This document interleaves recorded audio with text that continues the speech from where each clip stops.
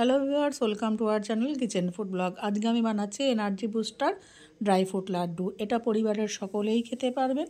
এছাড়াও আপনারা এভাবে ডেকোরেট করে যে কোনো কাউকে গিফটও করতে পারবেন।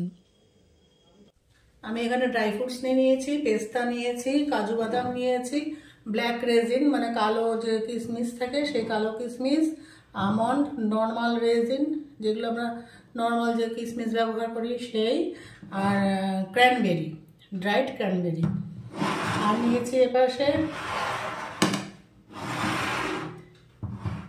মেলন সিডস পামকিন সিডস আঞ্জির আর ডেটস মানে খেজুর আমি খেজুরের বীজটাকে ছাড়িয়ে ডিসিডস করে নিয়েছি আর এই খেজুর, এই আঞ্জিরটাকে আমি ধুয়ে জলে শোক করে রেখেছিলাম।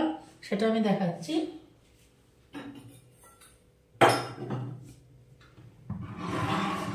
এই যে। Wash and soaked for 15 minutes in warm water. পনেরো মিনিটের জন্য গরম জলে আমি এটাকে ভিজিয়ে রেখেছিলাম, তারপর এইটা হয়েছে। এইটাই আঞ্জিরটাকে আমি পেস্ট করে এবার নিয়ে আসে দেখাবো। এটাকে সবার প্রথমে আমি আগে পেস্ট করব।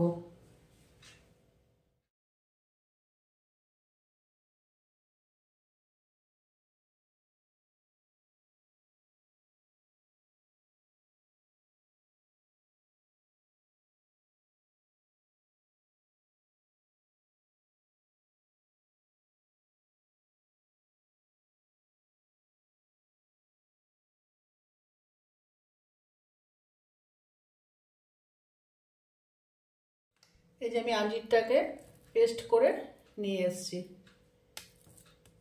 এরপর আমি পরের স্টেপে যাচ্ছি।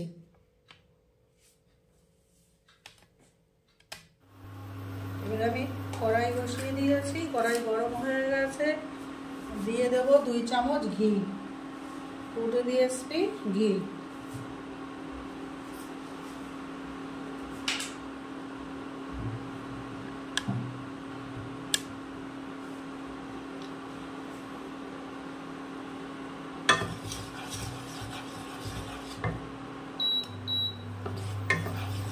এবারে আমি এই নাটসগুলো দিয়ে দেবো হালকা করে ভাজার জন্য। সব নাটসই আমি একসাথে দিয়ে দিলাম। আপনাদের হাতে সময় থাকলে আপনারা আলাদা করে দিতে পারেন, আলাদা করে করে ভেজে ভেজে তুলে রাখতে পারেন।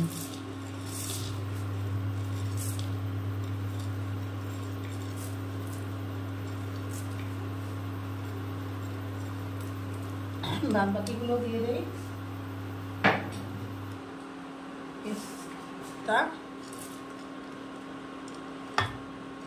আগে নাটসগুলো একটু ভেজে নিই, তারপরে আমি পরেরগুলো মেশাবো।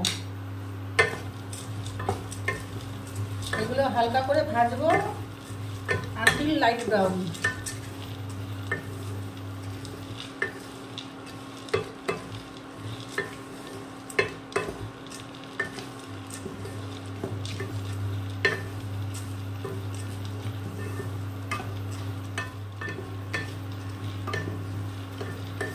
হালকা ভাজা হয়েছে। এবারে আমি ড্রাই ফ্রুটসগুলো বাদ বাকিগুলো ক্র্যানবেরি দিয়ে দিলাম। ব্ল্যাক রেজিন নর্মাল রেজিন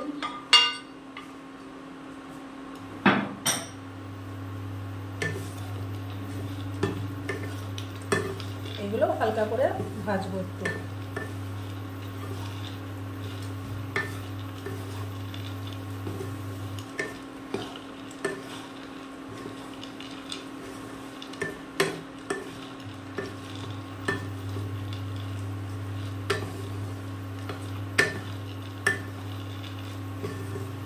এটা খুব একটা হেলদি একটা ফুড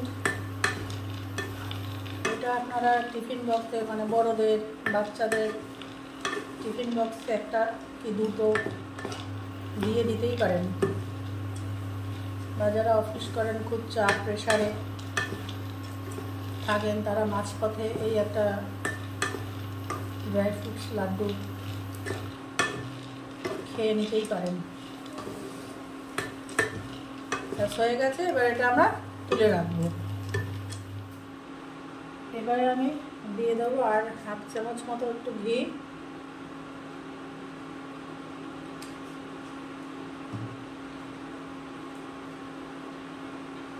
এবারে ভাজবো। এটাও হালকা ভাজবো। আনটিল লাইট ব্রাউন দিয়ে দিলাম সাদা তিল।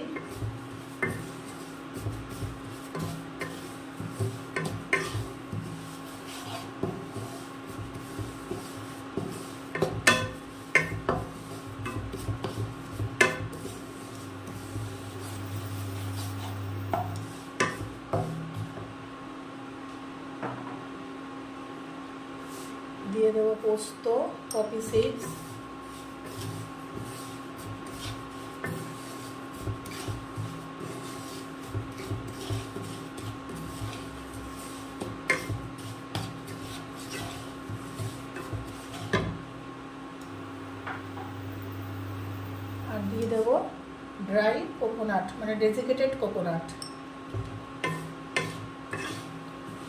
এই ডেজিকেটেড কোকোনাট পাওয়া যায় অ্যাভেলেবেল মার্কেটে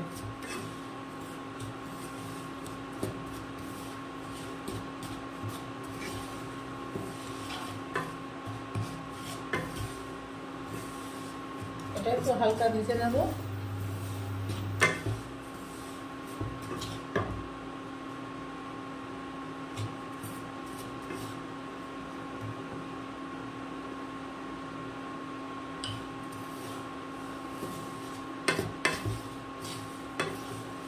ব্যাস হয়ে গেছে এবার এটাকে আমরা তুলে রাখব। আমার ড্রাই ফ্রুটটা ভেজে যেরকম তুলে রেখেছি। এই যে ড্রাই ফ্রুটস ভেজে আমি ঠান্ডা করতে দিয়েছি, এটাও আমি তুলে ঠান্ডা করতে দেবো।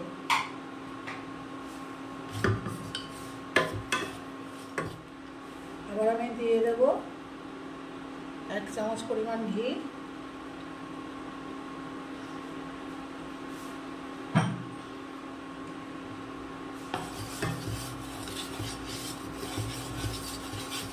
এইবারে আঞ্জিরটাকে পেস্ট করে রেখেছিলাম। এটা এখানে দিয়ে দেবো পুরোটা। এটাকেও হালকা ভাজবো।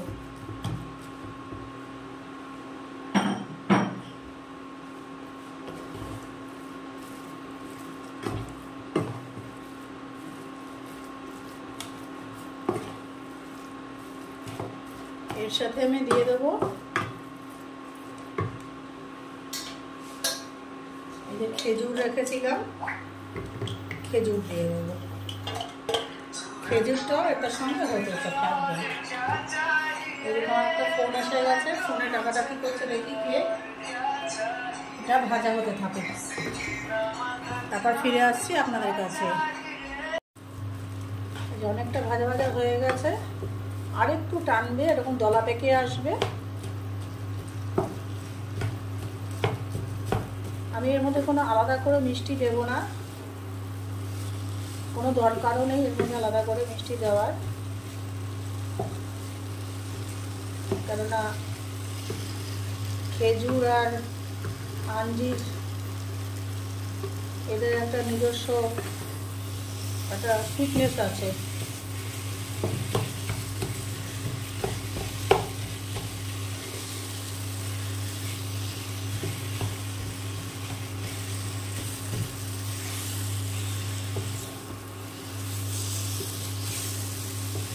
মধ্যে যেহেতু আলাদা করে কোনো আমি সুগার মেশাবো না বা গুড়, মধু কিছুই মেশাবো না। ফলে এটা ডায়াবেটিস যাদের আছে তারাও এটা অনায়াসে একটা দিনে একটা করে ইনটেক করতে পারেন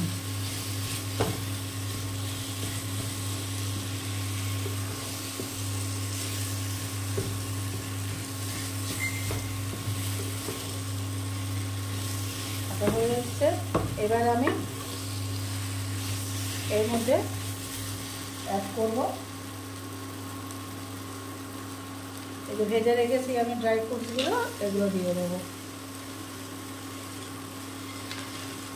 যাক এটা দিয়ে কিছু করে গেল।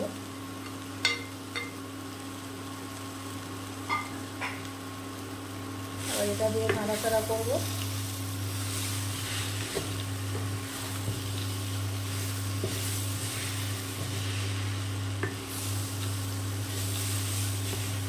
আঁচটা কিছুটা কমিয়ে দিই। একটু হালকা হাতে না করলে পুড়ে যাবে।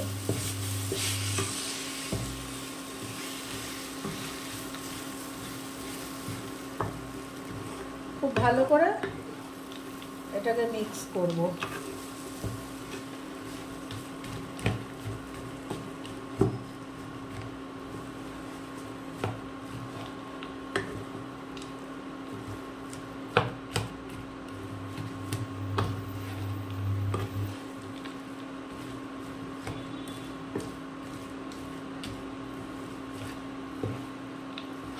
এইবারে এর মধ্যে দিয়ে দেবো।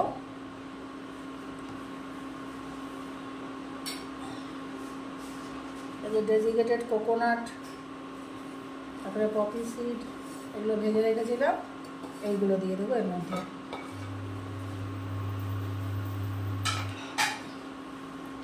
এবারে এটা একটু এমন করে নাড়াচাড়া করব। এটা mix it mix it properly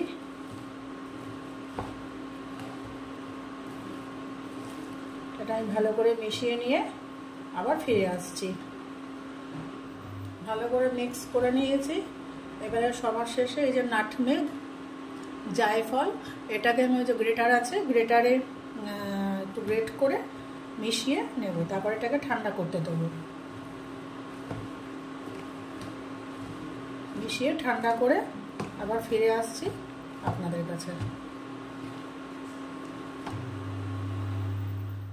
এই যেটা ঠান্ডা হয়ে গেছে, ঠান্ডা করে নিয়েছি, এবার হাত দিয়ে একটা সুন্দর করে মিক্স দেব। এরকম করে হাত দিয়ে একটুখানি মেখে নেব।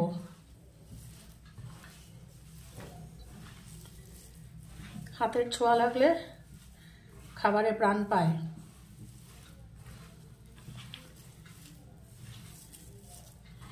ব্যাস, এরকম করে মিক্স করে নেব। আপনারা যদি মনে করেন এর মধ্যে আরেক চামচ ঘি মেশাবেন, মেশাতে পারেন। কিন্তু প্রয়োজন নেই। দেখুন, আমি এখন একটা দলা পাকাচ্ছি হয়ে যাবে। এই দেখুন।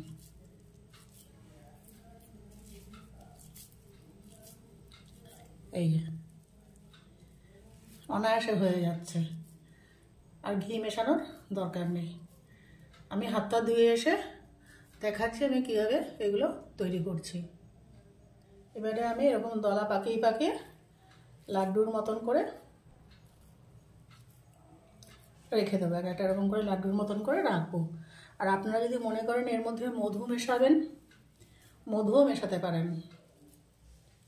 শীতকালে বাচ্চাদের মধু খাওয়াটা জরুর মানে দরকার, ভালো থাকে। মধুও মেশাতে পারেন। এই আমি সব করা লাড্ডু তৈরি করে আবার ফিরে আসছি আপনাদের কাছে। এরকম করে তৈরি করে নেব। বা আপনারা এক কাজ করতে পারেন, বাটার পেপারে নিয়ে এটাকে রোল আকারেও একটা রোল তৈরি করতে পারেন। আমি দেখিয়ে দিচ্ছি রোল কীভাবে তৈরি করতে হয়। ড্রাই ফ্রুট রোল হয়ে যাবে। এরকম করলে পরে হবে হচ্ছে ড্রাই ফ্রুট লাড্ডু। আর যদি রোল মতন করেন, তাহলে হয়ে যাবে ওটা ড্রাই ফ্রুট রোল। আমি দেখিয়ে দিচ্ছি। এই যে ড্রাই ফ্রুট লাড্ডু। যেরকম হাতের তালুর মধ্যে নিয়ে এরকম সুন্দর করে একটা শেপ দিয়ে নেবেন। এরকম এবড়ো খেবড়ো থাকলে তো ভালো লাগবে না দেখতে, এরকম করে একটা শেপ দিয়ে নেবেন।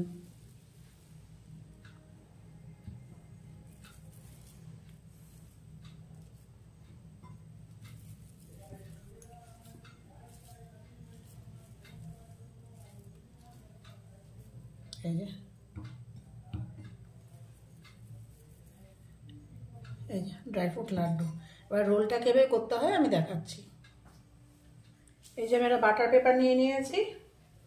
এই বাটার পেপারের মধ্যে এরকম রোল রোল করে ইয়ে করব এটা রেখে দেবো। এরকম করে করে দেবো।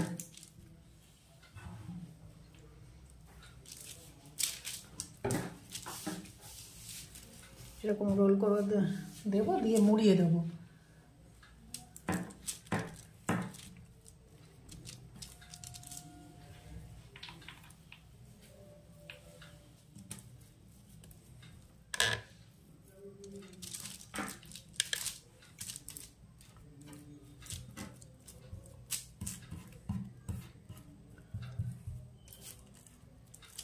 এম করে দিয়ে তারপরে এরকম করে রোল করে দেবো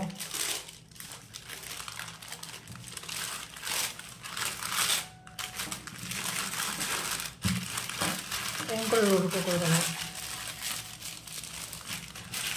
এটা বাড়িতে ক্লিন র্যাপ থাকলেও ক্লিন র্যাপ দিয়ে করা যায়।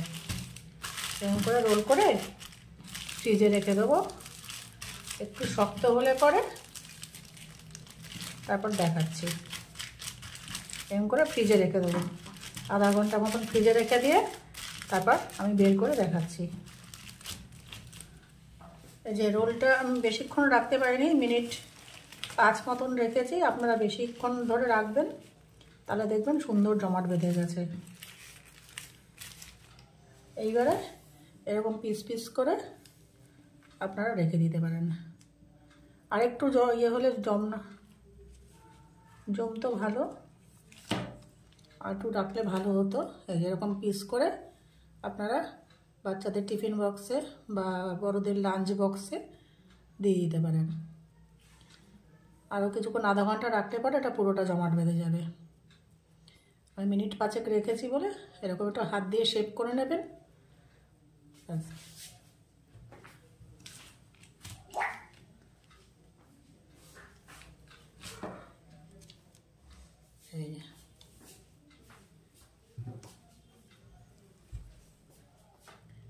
একই টেস্ট শেপটা একটু আলাদা হলে দেখতে ভালো হয়। এই।